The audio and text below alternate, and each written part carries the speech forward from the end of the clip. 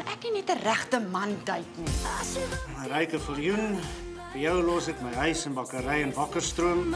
Vandag begin saam met jou. Franse boer. Plaakse boer. Ek weet nie wat my probleem is nie. Ek het 'n meisie. Maar ryke, dis standaarde wa. Om jou stem te doen. Wie is die persoon saam wie jy wil wees?